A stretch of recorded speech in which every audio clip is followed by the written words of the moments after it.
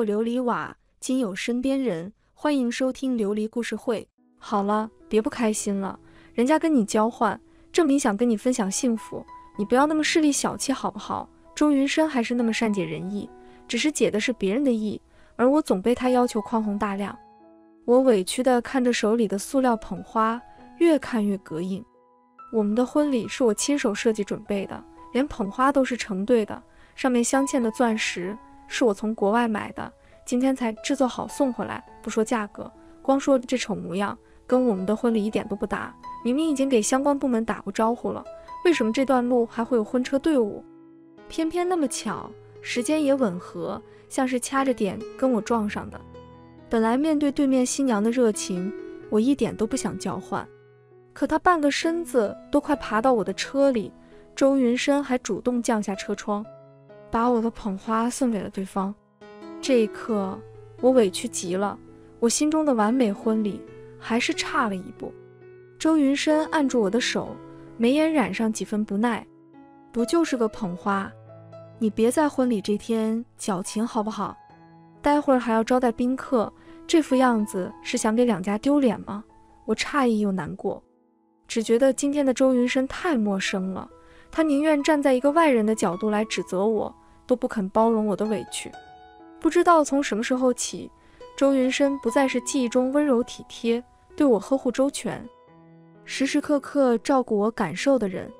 我们刚确定关系那会儿，我的论文涉嫌抄袭，我处于风口浪尖时，只有他第一时间站出来力挺我，相信我，替我想办法澄清。后来查清是资料重合，不构成抄袭，也是他在对方联合教授道德绑架我的时候，站出来保护我。明明那个时候，他可以为了我对抗所有，不管发生什么事，哪怕我被千夫所指，他永远是第一时间保护我的人。可现在，他总是要求我多理解他人，多包容他人，哪怕一点点鸡毛蒜皮的小事，他都会嫌我的理不饶人。甚至是我被对方欺负的时候，他关起门来都要跟我讲大道理，要求我再善良一些。他明明知道。我是那种恩怨分明、锱铢必较的人，而不是圣母。可他却一点点要我改变，成为他心目中最理想的善良女生。这一切好像他心里有个对照的模板。来到婚宴现场，按照流程，我们要先分开。等婚礼开始的时候，由我爸将我托付到他手里。业界有名的化妆师赶紧见缝插针的上来给我补妆，一边认真描绘我的唇形。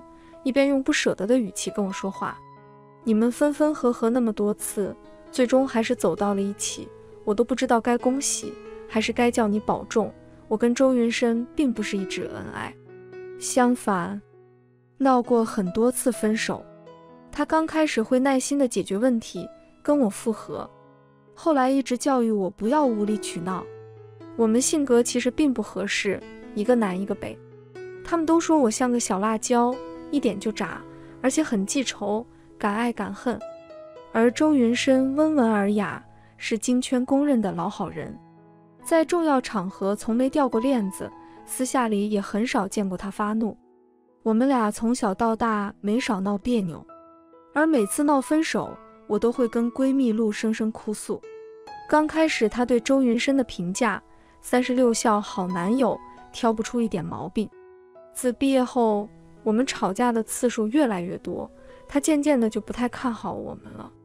别担心，他不会欺负我的。而且我们从小到大那么多年的感情，难不成你让我跟他玩玩，那样跟两边家长都不好交代？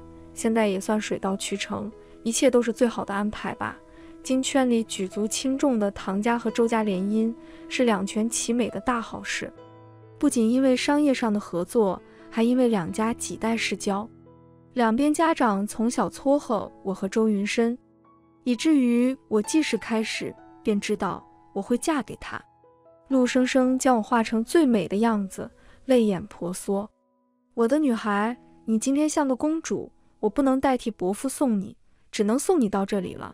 外头司仪的声音穿过化妆室，婚礼开始了。陆生生轻轻拥住我，如果他敢欺负你。我们是你最坚强的后盾，你永远是我们心中的小公主。”我刚想开口安慰，却听见身后一阵慌乱、匆忙的脚步声。唐小姐，请问你见到新郎了吗？婚礼开始了，可新郎却联系不上了。他有没有来找过你？我心里咯噔一声，低头看到手里难看、格格不入的捧花。周云深逃婚了，这是我们所有人都没想到的。圈内有本事的人应该能探听到，周家如今已是强弩之末，一个大工程出了问题，资金链被全部冻结。上头还派人成立专组调查。结婚是他提起的，更是周家目前最需要的。因为想要更深度的合作，唐家就要一同承担风险。只有我们二人结婚，唐家才敢放手去支持。抛开这些，我们从小到大恋爱七年的情分，我不敢相信他在大婚这天丢下我跑了。失神恍惚间，我被人推上了台上。几百双宾客的目光像刀子一样刺到我身上，我手脚冰凉，浑身又麻又痛，尤其是心口豁开了一个大洞。思绪飘回十四岁那年，初二的我正是正义感最爆棚的时候。回家路上遇到有人想不开，我二话没说跳下去救了那个女人，可自己太自大，差点没上来。是从小最怕水的周云深。拼了命把我拉回了岸边，那时候他紧紧抱着我，力道大到我的骨头都快碎了。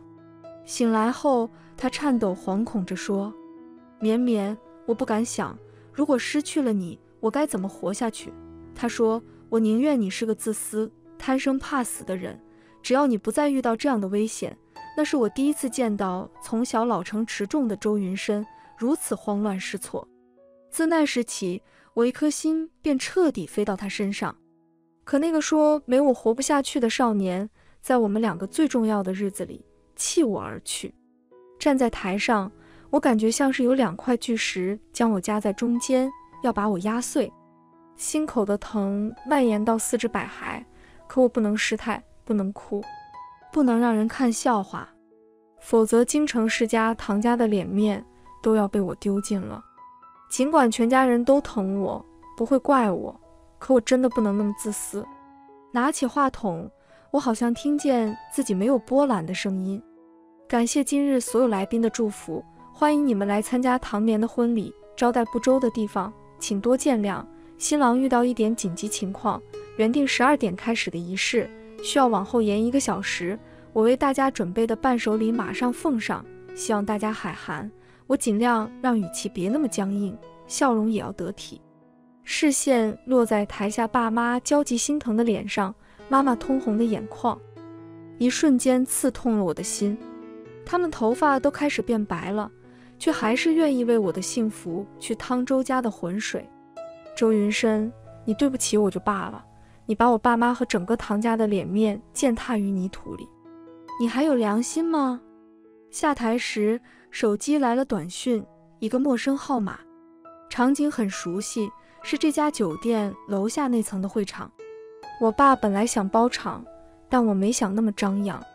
楼下今天好像也有人结婚，点开照片一看，瞬间万箭穿心，我的五脏六腑仿佛都被绞肉机碾碎了。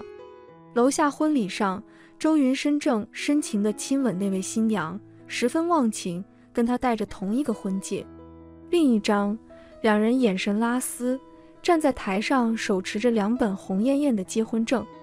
堂堂，这个婚我们不结了。周家欺人太甚，要不是两家有几代人的交情，我绝不能答应他们的要求。爸爸冷肃的脸上杀气升腾，妈妈抱着我落泪。乖女儿，周云深没良心，他一直对你要求这要求那的。我早就觉得他不靠谱。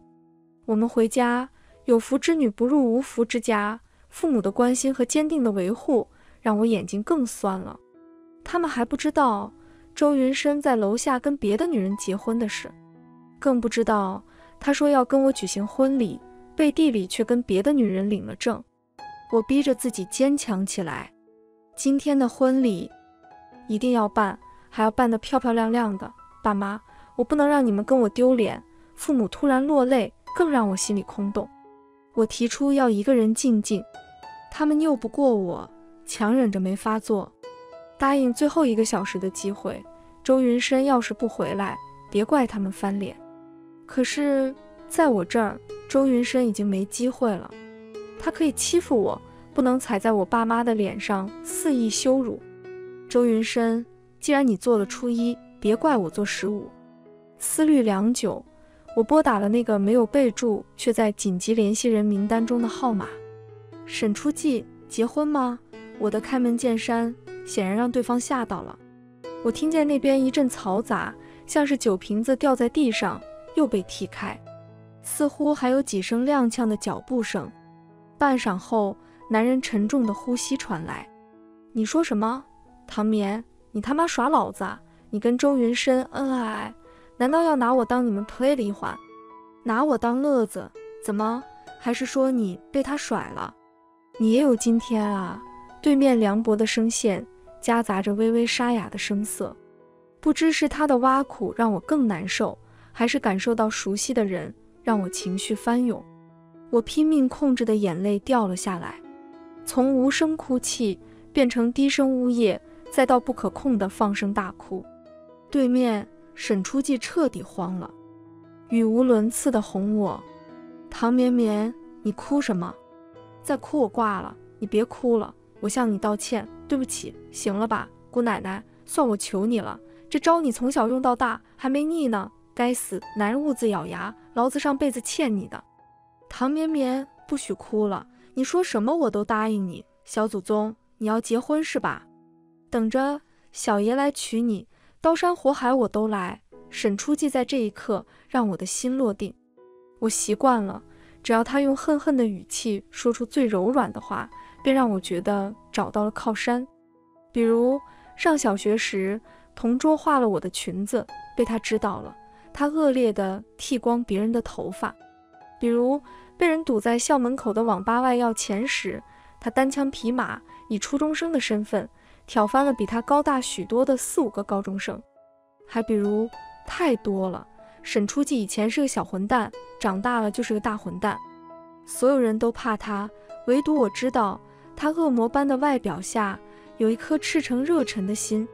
沈初季在圈子里出了名的二世祖、花花公子、小恶魔，但他最大的优点是从不食言。他说会来，半小时后就到了现场。他在后台找到我时，我的泪水还挂在眼角。沈初季一把将我按在墙上，微微上扬的眼尾噙着几分戾气。咬牙切齿间散发着看我不爽又无可奈何的妥协。我把你让给他，他还敢这么玩你？老子让人把他的腿全部打断！我还没来得及开口，便被他的动作弄得当场石化。沈初季朝我俯下身，凉薄温软的唇一点一点吻掉了我眼角的泪。沈初季，我浑身像是过电一般，猝不及防地推开他。我还有些无法接受。沈初季痞里痞气的顶了顶后槽牙，没跟我计较。不是要结婚，小爷裤子都脱了。你跟我说这，他今天穿的不是平日里的花衬衫，而是深色高定西装的裁剪，勾勒出他修长笔直的腿和匀称完美的身材，每一处都无可挑剔，看起来非常正经。当然，忽略掉那打歪了的领带以及没掖进去的衬衫。里面的衬衫穿的是粉白色，完全没有轻浮，反而十分庄重。我替他整理好衣服，司仪的声音再次响起：“你父母在催你相亲，你要是愿意，我可以陪你演戏，私底下你随便玩，我不会约束你。”沈初季猛地捏住我下巴，恶劣地笑了笑：“唐绵绵，你当我是哈巴狗，还是备胎？我认真的。”沈初季怒极反笑。想利用小爷没那么简单，我帮你圆场子是有条件的。唐绵绵，你没得选择了。他还是像以前那样霸道不讲理，可偏偏这份不讲理是现在最能让我感到踏实的东西。我以为沈初季同意了我的提议，可我没想到他还是让我付出了代价。代价是，我看着手里热乎的两本结婚证。以及身旁那个坏笑不停、像恶作剧得逞的男人，一脸懵圈。你玩真的？谁跟你玩了？你不是要帮我应付父母？他们可不信我的话，只信有效证件。结婚证像是烫到了我的手一般。紧接着，他又拉我上车，一路往沈家的四合院开去。我的心脏砰砰砰的狂跳，不知过了多久才反应过来，依旧感觉不真实。从昨天到今天发生的事情，都打得我措手不及。逃婚，临时换新郎，领证。我现在都清晰的记得那些宾客惊掉大牙、大跌眼镜的样子，以及我父母的震惊诧异，还有周家人的惊慌失措。我还没做好准备面对沈家父母，毕竟他们家在京城，比我家地位更高，在上头还有强硬的人脉关系，而我家只有商贾和读书人的背景。尤其是现在，我还把沈初季拉进了火坑。进门之前，我两手空空，甚至做好了被沈家父母羞辱责骂的准备。可我没想到，二老比我周家对我更亲切热情。一场饭局，从头到尾伴随着二老一种莫名其妙的眼神，我看不太懂，只觉得意味深长，还夹杂着几分欣慰。回去后，沈初季雷厉风行，风风火火地把我的大平层搬空了。所有东西都被他搬到了他的别墅里，还是先斩后奏，根本不给我一点反对的机会。我想，反正证都领了，不住一起，反倒让人怀疑。晚上，沈初季把我堵在客房门口，咬着牙掐我下巴。新婚夫妻分房睡，唐绵绵，你左脑是水，右脑是泥吗？混在一起变成了水泥。他怎么还是那么毒舌？反正我们只是假的。我说了，婚后各过各的。你说要领证，我都答应了。难不成你还要我跟你睡同一张床吗？就算我同意，你不膈应？沈初季，我知道你只想继续当你的混世魔王、花花公子。你放心，我一定不会干扰你。但能不能别逼我？男人被我气笑了，我不敢看他的脸，视线下滑。只看到那个突出性感的喉结在我眼前滚了滚，旋即沈初季放开我，同时胸膛传来沉闷的低笑。好，很好，你能有这份觉悟，小爷很欣慰。唐绵绵，你给我等着！他气愤地转身，那一刻我看不懂他眼里的情绪，生气。可这不是他最需要的、想要的吗？他生气什么？这小恶魔。脾气越来越阴晴不定，叫人捉摸不透了。后半夜，沈初季回来的时候，醉醺醺的，身上的酒气直冲我的鼻腔，我感觉脸上有什么痒痒的。一睁开眼，他的下巴在蹭着我的脸，很快移到了脖子。我脑子里一根线崩断了。沈初季，绵绵宝宝，你别生气，我知道错了，别跟周云深那个混蛋走好不好？沈初季真的醉了，抱着我说了一堆混话。他的态度与平常不跟从小到大的小恶魔判若两人，不再腹黑毒舌，不再恶劣纨绔，而是软声软气，带着撒娇的味道，还有几分委屈，像一只粘人的猫。我被沈初季的模样吓傻了，可他偏偏掀开被子钻了进来，脸埋在我颈窝里。说话时呼出来的热气，惹得我忍不住发颤。宝宝，老婆，亲亲。沈初季忽然将我的脸掰过来，霸道又强势地印了上去。嗡，大脑一片空白，眼前是他入迷的模样，鼻腔里全是他的气息，感官察觉到扑面而来的荷尔蒙气息，直到我被亲得浑身发软。沈初季不停地撒娇说难受，我意识回笼。闻到一股淡淡的女士香水的味道，刹那间我陡然清醒过来，不知为何心被刺了一下。沈初季他今晚去见女人了，可能还是跟女人喝了一晚上的酒。我逼着自己不能在意，却又控制不住，脑海里总是浮现沈初季跟其他女人混在一起的画面，心里的疙瘩却越滚越大，无法忽视。委屈之下。所有情绪交织，我气得一脚把他踹下床，哭累了，迷迷糊糊睡过去。小哭包顶着两个核桃，还是那么好看。唐绵绵，我真是欠你的。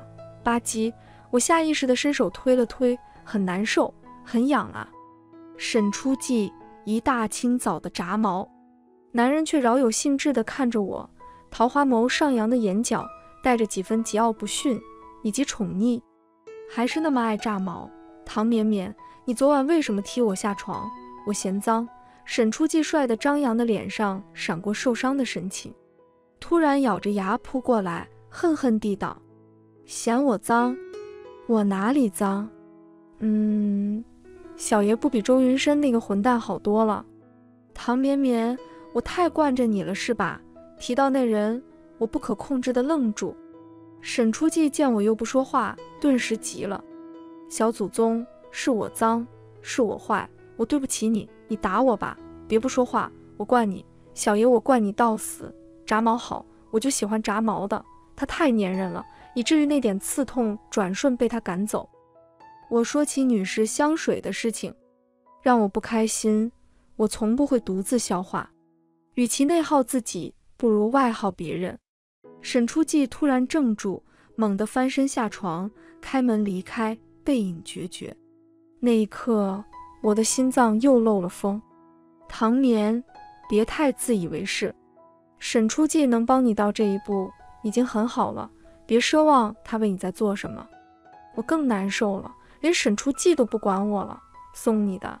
沈初季去而复返，我的泪水根本没来得及遮掩。我呆呆地看着他，不明所以。他不耐烦地啧了一声，表情别扭又傲娇。新婚礼物。婚礼那天，我给你订的粉钻还要七天才能送到京城。从小到大，你不是最喜欢这家的香水吗？我特地让人给你赶工定制的味道，试试你喜不喜欢。我闻了闻，干净清冽的雪松味被妩媚浓郁的玫瑰味强势的笼罩，像是将高岭之花拉下神坛，与妖魔共舞。妖而不艳，妩媚却不低俗的香味，很具有攻略性。是我最喜欢的感觉，但以前周云深只允许我用知性优雅的淡香。他说浓香喷在我身上，像染了风尘的女子，太妖媚。原来还有人记得我的喜好。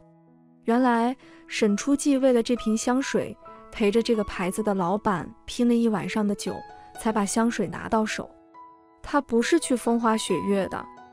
一时间。我的愧疚和心酸涌了上来，我抱着香水哭个不停，把这几年的情绪全部发泄出来了。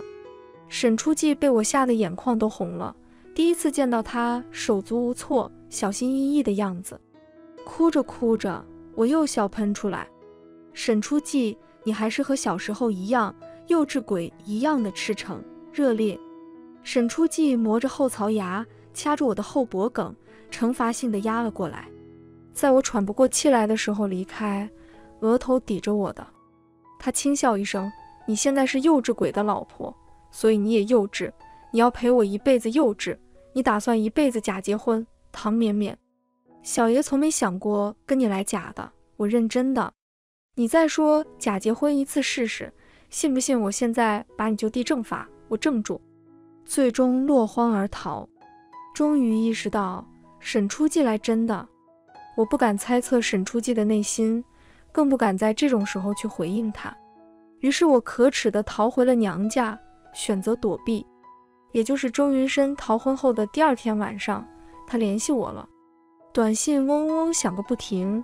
我心烦意乱地拿起来，还以为是沈初季，却在看到那个没有备注的联系人时，心脏空洞的疼又传来。我无意识地点开，唐眠。你非要这么羞辱我吗？我那天离开是因为遇到了十万火急的事情，你能不能别再那么胡闹跋扈？我只解释一次，我大学时候的导师的女儿昨天结婚，却被婆家人欺负到差点跳楼。我导师去世前，拜托我替他照顾女儿，我不能忘恩负义。前两年，周云深大学时候有恩于他的导师去世了，老人家走得很痛苦，癌症，临走前。周云深在他病房里待了半个小时，我不知道说了什么，问他，他闭口不提，还会生气，像是什么要紧的秘密，谁都无法窥探。原来，原来是他对另一个女人的保护。全身传来细密的痛，让我有些无法呼吸。周云深，到现在你还在骗我？要跳楼的人能笑得那么开心，那么幸福？你是去救人了，还是去结婚了？我第一次发现，清风霁月的周云深也会满口谎言，无耻卑劣。我没有回复，短信不停地弹进来。唐眠。你非要闹得两家面子上那么难看，你不知廉耻，你父母还不要脸吗？明天我给你最后一次机会，订婚的酒店，我邀请了所有亲戚宾客，向大家解释清楚，否则你休想让我再原谅你。你要是挽回了两家的颜面，再给我父母侦查道歉，我们下个月还能重新举办婚礼。唐眠，别逼我再也不要你，我反手把关于他的一切账号拉黑。但是明天的局。我一定要去，戏台子都给我搭好了，不能辜负周云深啊！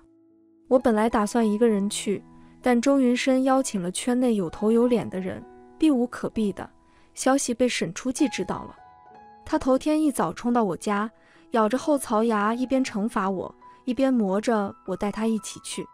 沈初记从顶替结婚到现在，你不会觉得我在利用你吗？唐绵绵。从小到大，我一直在你身后，只是你从未回头看过我。我的心仿佛被人捶了一下，又酸又痛。看到了沈初季幽暗眸底的心甘情愿，看到了他多年来的付出。唐绵绵，你真不是人。他越是如此，我越是愧疚。沈初季带着我出席饭局现场，我不是以周云深未婚妻的身份出现，而是沈家少夫人。沈初季名正言顺的妻子，我们出现的时候，全场安静下来，那些窃窃私语，那些不可思议，全部消失了。多少人是等着看我好戏来的，看唐家大小姐低声下气给人道歉来的，可惜他们的愿望落空了。相反，我们还没入座，便有无数人起身，端着酒杯过来，恭恭敬敬地给沈初季敬酒。沈家的背景足以碾压在场所有人。当沈初季向他们介绍我的时候，我再次感受到了眼神的浪潮，快压得我喘不过气。我深知，面对沈初季时，在场的其他人心情比我更紧张。好在身旁的男人察觉到我的不自在，抬了抬手，那些站着的人终于敢坐下去。身后的门被推开。我看到周云深走进来，他的外表依旧清风霁月，宛若不食人间烟火的高岭之花，而他身边还跟着照片上的那个新娘。耳边声音全部消失，我僵在原地。那个人正是那天快要爬出婚车跟我交换捧花的新娘，是他，原来是他，原来那一切不是巧合，是故意为之，是羞辱。我突然轻蔑一笑，所有一切在眼前清晰起来。林月如要跟我换的不是捧花，而是男人。周云深既然敢把他带来现场，便说明他根本不把唐家放在眼里。同样的，周家父母或许是默认的。既然如此，我便不必再顾念两家情分了。放在桌底的手按着手机，给我大哥发了个信息。对面很快回复收到，开始动手了。面上表情恢复如初。周云深走到我身边，看到沈初季的时候，一脸的不悦。你怎么来了？唐眠，你带他来的。每次我们吵架，你都要用他来气我。你现在道歉，我还能原谅你。向我道歉，向周家道歉，还要向月如道歉。我把餐具重重搁在桌上，清脆的响声让所有人心头一紧。冷眼看向周云深，让我道歉，你配吗？门口算卦二十一次，要不要去算算？你算什么东西？噗嗤！沈初季非常羞辱的笑出声来。周云深那张万年不变的儒雅表情，在这一刻出现了裂缝。沈初季站起来，一米九的他比周云深还要高一截，气势上更是不留任何面子的压制。像看一只蝼蚁，轻蔑的冷笑。听说你要让我沈家认定的女主人道歉，周家怕是忘了，京城是谁的地盘？我看向中央的大屏幕，灯光一暗，幻灯片被人放了出来，上面是周云深和林月如厮混的各种照片，各种尺度都有，还标上日期。唐家人从不是任人拿捏的性格，从他逃婚的那天。我便让人查了这些东西。如果他没带林月如来羞辱我，或许我还会给周家留最后一点颜面。可惜周云深不知死活。幻灯片放完，周云深脸色大变，我从未见过他如此仓皇愤怒的表情。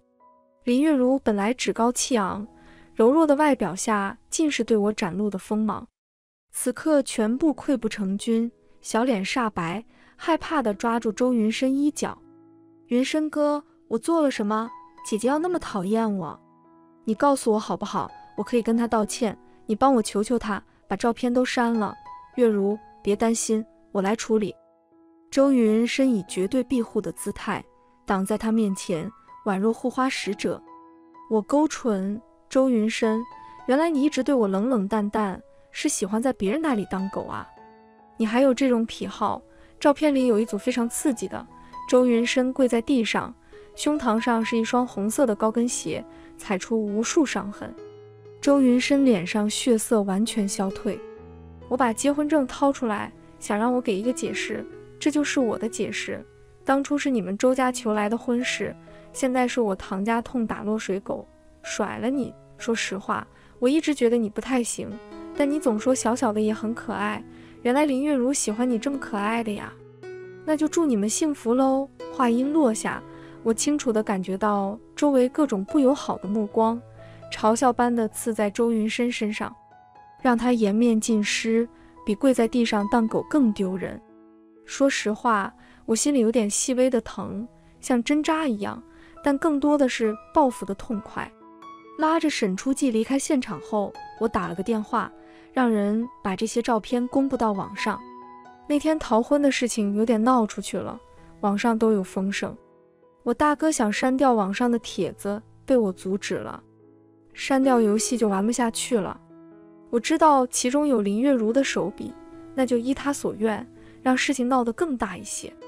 接下来三十六个小时，会有人连续不间断地把那些照片发到网上。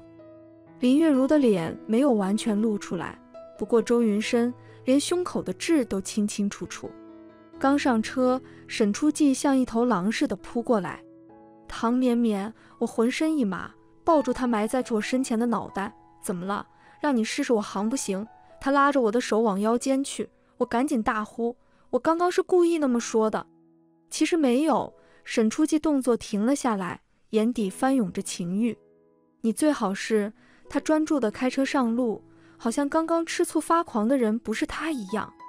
不仅仅是照片在网上传开了，关于周云深如何被扫地出门、如何不行的谣言也层出不穷。周家在这个圈子里老脸都丢尽了。周家父母想要登门拜访，亲自道歉，奈何连院子都进不去。家里的二老可不是好惹的。我爸亲自放出话。从此以后，绝不再跟周家合作，同样不跟周家的盟友合作。一个鼎盛时期的企业，一个强弩之末，傻子都知道怎么选。周家的地位再次一落千丈，而且我还听说沈家也隐隐暗示了，圈内对周家的打压更加狠。周云深还敢跑来找我放狠话，这是我没想到的。高高瘦瘦的他站在我面前。却好像失去了滤镜。我突然觉得他这个人怎么说呢，挺一般的。头发凌乱，长长了很多，下巴上胡茬邋遢，终于没有了那副高高在上、清冷出尘的样子了。唐眠，这是我最后一次给你的机会，你还可以回头。你若不珍惜，日后别后悔。可笑，时至今日他还不清醒，愚昧又自大。周云深，你好像那个小母牛做灯泡，牛皮闪闪，蹬鼻子上脸。我拭目以待，你别先撑不住了。他离开时，眼神复杂到令我作呕。我更没想到，周云深刚走，林月如又来了。几天不见，她突然从小白花变成了疯婆子，面目狰狞，形象狼狈，身上还有一股腥骚味。低头一看，原来裙子上沾染了某种脏液体。林月如发疯一般扑上来，我一脚踹过去，她摔了个狗吃泥。忘了，我还是个传统武术高手。唐勉，你个贱人，你都把我害得那么惨了，还要勾引周云深。我好不容易把他从你身边抢过来，你就不能放过他？你好好看看他现在都被你害成什么样子了！我一把抓起林月如的头发，巴掌凌厉地打在她脸上。我看你是土狗打饱嗝，屎吃多了是吗？那么爱吃。周云深跟你简直绝配，一个狗男人，一个数学界、英语界的二把手。你们两个狗东西和两比，我祝你们所死，别出来祸害人。以前我不懂事。拿他当个宝，现在才发现他比屎还恶心。你好好珍惜着。知道你看我不爽，可是怎么办呢？你又弄不死我，实在不行，你比我先死吧，算你赢我一次。教训这样的人，我都嫌手脏。你知道周云深当初为什么跟我在一起吗？因为我腿上有一条疤，是小时候爬山留下的。可是他呀，他傻乎乎的以为是为了救他留下的。唐年。其实当初救他的人是你吧？真可惜，他把我当成了你，我浑身僵住，手脚冰凉，一阵恶寒。两年前，周云深开的车出了问题，在路上刹车失灵，失控撞向石桥。那段路人少，我收到车子发来的损坏警告，第一时间赶了过去，比所有人都快。我到达现场，看到汽油泄漏，当时大脑一片空白。只剩下救人一个念头。为了把周云深拉出来，我硬生生用腿撑开了卡在他身体上的零件。汽车在我们身后爆炸，我也晕了过去。醒来之后便在国外了。我父母为了不让我留疤，特地带我去做治疗。期间，周云深一直跟我保持联系。我以为他知道。再回来见到他，他待我更温柔。我以为他知道。原来他失去了那段记忆，周家父母怕以后他面对唐家时低一头，为了可笑的面子，没告诉他，瞒了下来。那又怎样呢？反正是我不要的他，我头也没回，心里某些东西彻底被丢下了。当年周云深救我一次，两年前我救他一次，就当两清吧。陆生生来找我，跟我说周家最近的情况有多惨。周云深都快走投无路了，到处拉投资，曾经高高在上的人，如今也终于低下了高傲的头颅，再也维持不了那副虚伪的作态。周云深不是看不上唐家吗？他不是一边要利用，一边又要清高吗？那就看看他能清高到什么时候。陆生生问我下一步想怎么做，我拿出了一份计划书和合同，这个。明天会有人送到周云深手上。陆生生看完后诧异道：“他都那样对你了，你还想帮他？虽然我同样不看好你跟沈初季，可你千万不要心软回头啊！”绵绵，我捏着发丝，笑得无害。生生，这个世界上怎么可能会有砸在头上的馅饼？陆生生瞠目结舌，合上了嘴巴。合同送到周云深手上的时候，他高兴坏了，还当场哭出来。我可以想象到他的心情，像是在黑暗中看到了黎明的曙光，像是他终于可以向我证明，他不需要唐家，更不需要我。我听着大哥不屑的冷哼，狂妄自大。他刚拿到资金，就挪去填了其他空缺，是真的以为胜券在握了。我很早就看出来，他不是做商人的料。还好你眼睛终于不瞎了。片刻，大哥又问：真的不爱了？我知道大哥是在替我搭台阶。最后一个思绪飞回那个河边。从小到大，所有人都告诉我，我们以后会在一起。我自然而然也那么认为了。后来落水，他不顾危险来救我。我以为他是童话中的白马王子，其实他什么也不是。多少次的争吵，教会了我许多道理。再者，我不允许他踩在你们的脸上羞辱哥，这是你教我的。人要有原则和底线。我们的问题不是一朝一夕，更不是那次逃婚，而是他一再的破我，一再通过打击我来满足他虚荣心的卑劣行为。我哥愣住：“什么？就你？你是说初二那年你见义勇为的事情？”我点了点头。你大哥嗤笑一声：“你该不会以为救你的人是周云深吧？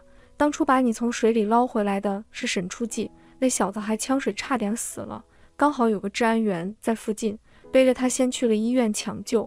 他现在留下的肺炎后遗症都是那次造成的。傻丫头！”大哥长长叹息一声，大脑一片嗡鸣，我感觉自己聋了，什么都听不到，也看不见了。当年救我的人是沈初季。那为什么出现在我身边的会是周云深？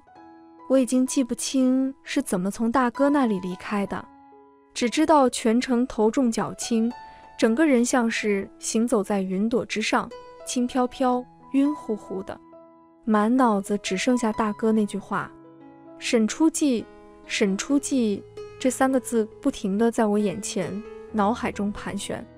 我蹲下身，一阵干呕。周云深，他一定知道，可他一直以来都在骗我，心安理得地享受着我对他的顺从和忍让。他乃至整个周家，顶替别人的一切，将我蒙在鼓里，耍得团团转。颤抖着拿起手机打给沈初季，这一刻想见他的念头疯狂在我心里生长。沈初记听到我发抖的声音，担心坏了，叫我别乱动，他来接我。我找了个显眼的奶茶店坐下，明明是酷暑天气，却如同置身冰窖，手脚冰凉，心底某个大坝快要坍塌，洪水在疯狂冲撞叫嚣。我不敢想沈初记看着我因为救命之恩黏在周云深身旁时有多无奈和难受。哪怕如此，他依旧坚定地站在我身后。那么多年，唐眠，周云深朝我走来。脸上满是洋洋得意，你还不知道吧？今早我拉到一个投资，比你们唐家许诺的更多，足够我周家渡过所有难关，更上一层楼。日后在这个领域里，是不是唐家稳坐龙头，可不一定了。怎么样？现在后悔了吗？可惜我给过你机会，是你自己。话音未落，我面前滚烫的奶茶泼到了周云深头上，再浇下来。打湿了他的衣冠楚楚和虚伪。周云深，你真贱！你知道你现在很像一只从垃圾堆里翻到骨头的狗吗？不知道的还以为你最近认了二郎神当主人，那么嚣张。冰冷的眼神刺在周云深身上，我听见自己的语调没有温度。初二那年，我落水，救我的人是谁？这是你最后一次机会。周云深眼中骤然变得仓皇失措，仿佛有什么东西一闪而过。他为什么会紧张害怕？或许是因为他清楚，我提出来的从来不是疑问，而是答案。周云深，你我之间恩断义绝，从此以后生死各不相干，好自为之吧。绵绵，你听我解释，隐瞒了多年的秘密终于被捅破，那种心虚瞬间冲毁了周云深的自尊和得意。他急切地攥住我的手腕，当年不是你想的那样。我只不过是比沈初季晚了一分钟到，如果是我先到的，就没有他什么事了。绵绵，别闹了，我们和好好吗？这件事我一直不知道该怎么跟你开口，压在我心里，时常让我喘不过气，所以我才会对你若即若离。我想让你知道，又害怕你知道，你就当做我自尊心在作祟。我不想承认，你对我的爱建立在救命之恩上，那会让我想到。如果你知道真相了，会不会爱上沈初季？你真让我恶心！我转头打了他两巴掌。我没有顶替别人的资格，更没有侮辱我的感情的资格。直到这一刻，他还在为自己的虚伪找补，还在贬低我和我的感情。他在我心里的形象一直是温文儒雅，几分疏离让他看起来更完美，更不可触碰。正是因为那些相处的点点滴滴。才让感情一天天变得浓烈。可现在告诉我，所有的一切都建立在谎言之上，让我感觉自己无比的可笑。从此以后，那个干净温雅的少年将完全从我心里消失，不留任何痕迹，因为他从未存在过。沈初季怎么还没来？我如同无头苍蝇乱转，走着走着，四周的人越来越少。当我察觉不对的时候，几个身形魁梧、表情凶恶的大汉已经朝我围了过来。你们想干什么？我拔腿就跑，可那几个大汉穷追不舍，速度又快，没多久我就被追上了。沈初季快要被抓住的那一刻，我绝望地喊出心底的名字。此时巷子里光线昏暗，没有其他人。唐绵绵，这道声音恍若天籁之音，安全感瞬间将我笼罩起来。沈初季身手很好，他酷爱挑战极限运动，体能更不是普通人能比的，何况还带了保镖，没多久便解决了所有人。我颤颤巍巍地将手攀上他的脖子，那一刻心终于落定，前所未有的踏实。沈初季，我怕。胆小鬼唐绵绵温厚的大手附在我眼睛上，一只胳膊穿过腿弯，将我横抱起来。没事，我来了。闭上眼，别害怕。他不让我看，但我预料到接下来会发生什么。当淡淡的血腥气充斥在鼻尖，我害怕地攥紧他的头发。身后传来的几声惨绝人寰的叫声越来越远，直到熟悉的车载香氛将我完全包围。沈初季一个又一个的吻落在我脸上，没事了，唐绵绵，我在，我送你回家。我知道他说的是我家，可我不愿。沈初季带我回家，我们的家。抱着我的男人骤然浑身紧绷，肌肤都变得火热，嗓音沙哑低沉，喉结滚了滚。好，回我们的家。他总是一身戾气，总是跟我作对，但每次只要他出现，不管什么场合。都奇异的令我安心，感到自在。那是周云深从未带给过我的。回到别墅，我在浴室里洗了四五次澡，那几个男人没碰到我，可周云深抓我的手腕，又脏又恶心。还有一层原因，我不知道该怎么面对沈初季，愧疚和心疼快要将我淹没。我想弥补他，可如今时机不太合适。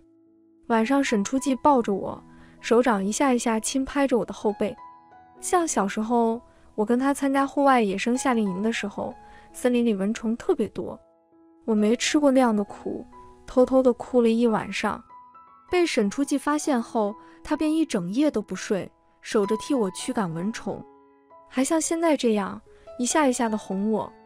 但是第二天，他总会不留余地的嘲笑我，胆小鬼唐绵绵。明明我叫唐绵，亲近的人叫我绵绵，可只有沈初季从始至终喊我唐绵绵。在他怀里，我迷迷糊糊地睡过去，梦里没有害怕，我却梦到了初二那年落水的那两分钟，恐惧到极致，我以为我真的要死了。大脑里的画面飞快闪过，当最后一口气散去时，我看到了一道黑影拼了命地朝我游过来。这次模糊不清的人脸无比清晰，是沈初季，原来是他。梦里的窒息感非常真实，叫我感觉像是真的溺水了，肺里的空气都被吸走。挣扎着睁开眼，才发现是沈初季压着我亲，还恶趣味的顶。我浑身发麻，惊呼一声：“沈初季，你干嘛这么喜欢小爷？”梦里都在喊我名字，嗯。他牙齿轻轻磨着我的耳尖，那过电般的触感刺激着我的神经。往常我总会躲开或者阻止，但这一次我主动给了回应。给我点时间，沈初季，我想干干净净的腾出来喜欢你。沈初季浑身绷紧了，像是随时要爆发。我看到他桀骜的眼底划过的惊喜，如获珍宝般将我紧紧抱着。唐绵绵。这一次，你终于不是胆小鬼了。那天想对我动手的几个男人是周云深雇的，他故意没有用周家的人脉，害怕被查到，铤而走险，选择了林月如认识的人。真是一对狗男女。他要出墙，林月如还给他搬梯子。沈初季火冒三丈，大有闹翻京城也要把周云深大卸八块的架势。我爸妈那边同样怒不可遏。我却阻止了他们，我要亲自报复他。新的项目一启动，周云深以次充好，降低成本，好掩盖他挪用公款的事情。但纸终究包不住火，更何况我早就挖好了一个又一个的坑给他跳，不管他往哪里跳，全都是死路。在项目进行到一半，最火热的时候，我让人把周云深所做的一切事情公布给了媒体。官方本就对这个项目非常重视，不容许出现任何纰漏和差错。周云深竟然在官方眼皮底下做出这样的事。上头当即成立调查专组，严查他和周家这些年的账目。本来只是周云深的事情，业内其他人都没想到会牵扯到周家。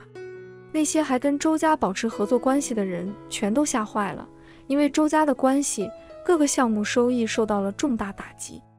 官方还没调查出什么，那些项目的违约金都压得周家人喘不过气。这次他们走投无路，求助无门。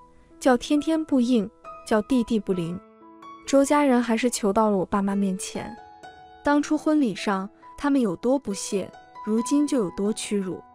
我爸妈让周家父母跪下道歉恳求，他们照做了，最后被我爸毫不留情地扫地出门。照片还被各大媒体刊登在报上。周家这次不仅丢了利益，连面子都丢干净了，被全网嘲笑奚落。周云深还四处奔走，求爷爷告奶奶的，想办法求人。这事闹出来，对他的打击不是一般的大。曾经那些巴结周家的人，如今全部跳船反踩。以前他有多高高在上，现在就有多卑微低下。那个项目的事情一旦被查出来，他必定管吃管住一辈子。我故意捏着最后的证据不放，官方也没刻意往我身上查。周云深最终还是顶不住压力，求到了我头上。他脱下高傲的外壳，在我面前低下了头，卑微的请求我帮帮他。绵绵，你帮帮我，只有你能帮我了。你不是叫我别后悔吗？怎么现在好像后悔的人是你？绵绵，我们那么多年的情分，你当真一点都不在乎了？那你呢？故人来绑架我的时候，你怎么没有一点在乎？周云深赫然僵硬，苦撑的最后一分骨气轰然坍塌。他绝望地抱着头：“为什么？为什么我们会变成现在这样？绵绵，我错了，真的错了。求你别不管我。当年要不是林月如舍命救了我，我才不会在教授离世那天跟他在一起。绵绵，你原谅我一次，我保证以后不会了。我毅然决然地离开，连半点余地都没留。至于当年的真相……”我也懒得告诉他了，他这样的烂人不配再跟我扯上关系。我从未想过我会亲手摧毁周云深的一切，名声、地位、家世，他引以为傲的一切，如今都没有了。证据放出去后，他锒铛入狱。由于案件影响过大，全程公开审理，网上各种污言秽语，随便拿出来一句，都是他前半生没经历过的。曾经的高岭之花，那个高高在上的金贵之子，终于被人踩在泥潭里，永世不得翻身。周家父母求我父母不成，把目标打到我头上，被沈初季撵走，像撵狗一样，最后赔得倾家荡产，被撵到国外，连林月如都逃不过，谁让她是周云深的合法夫妻呢？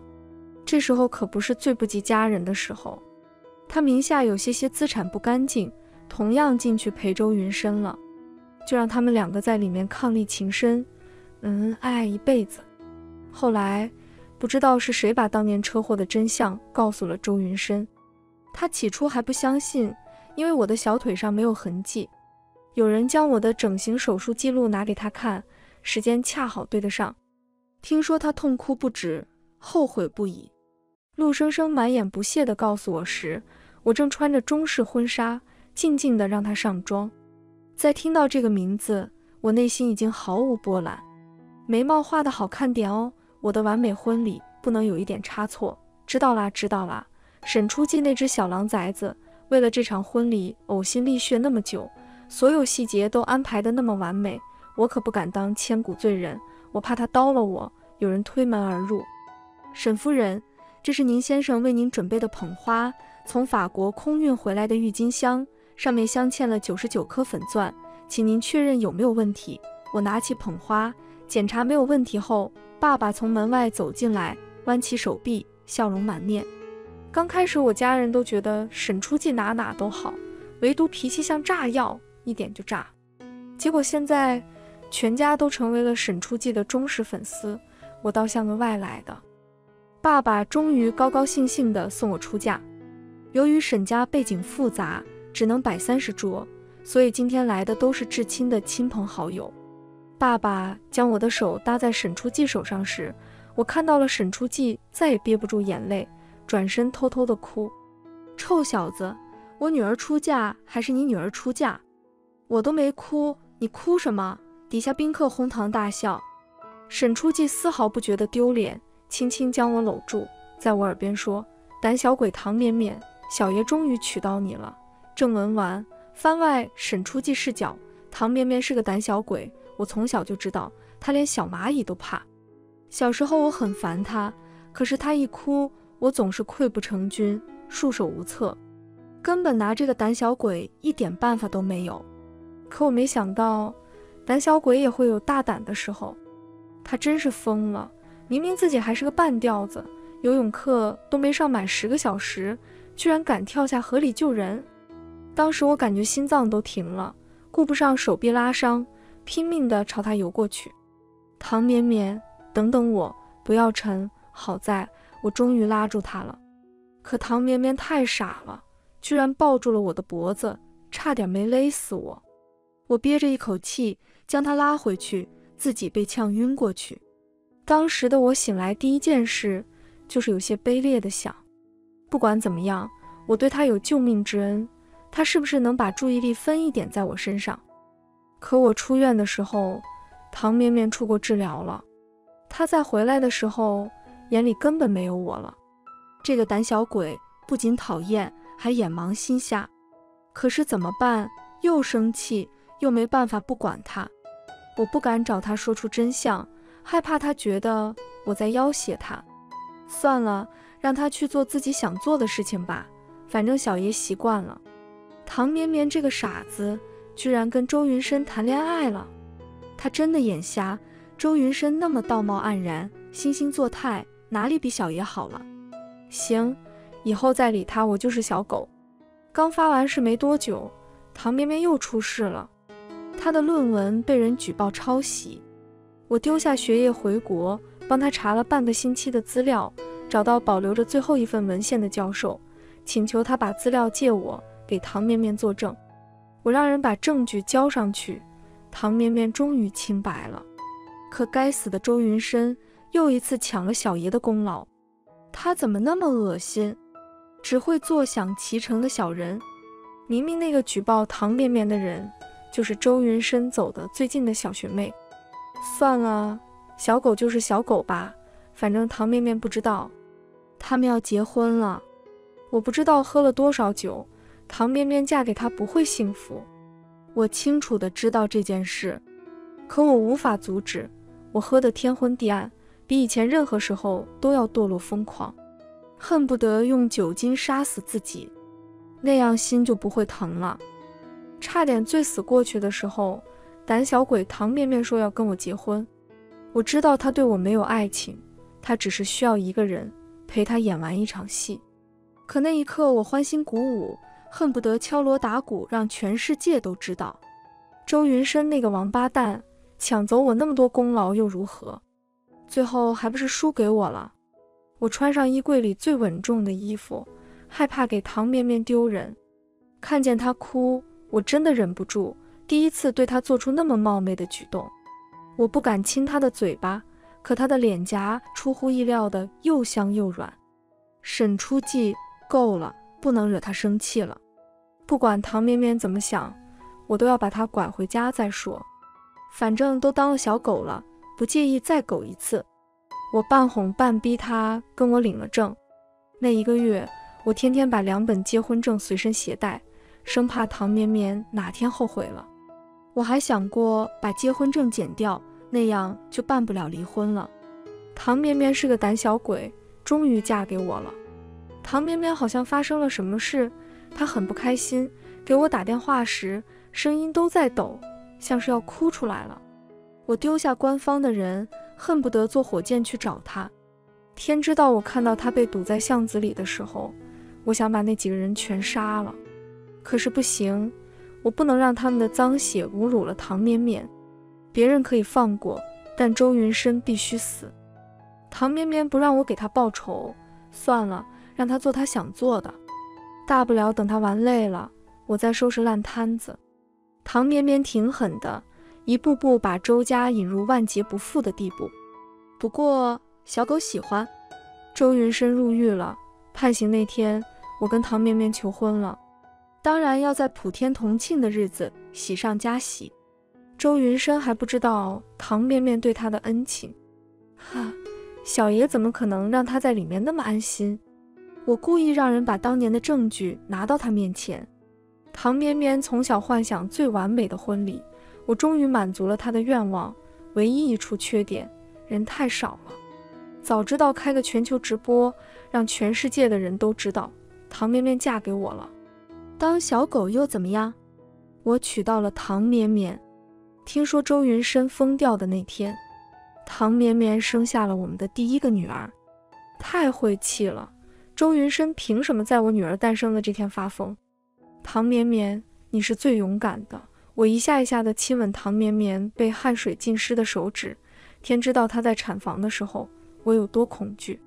那一刻，我甚至仇恨我的女儿，都怪她，才让唐绵绵吃了那么多苦，皱巴巴的像个小老头，一点都不可爱。唐绵绵，我才是胆小鬼，你别离开我，我给你当一辈子的小狗。后来女儿渐渐长开了，还好像唐绵绵，不然像我多丑。算了。分一点边角料的爱给他吧，不然唐边边又要说我了。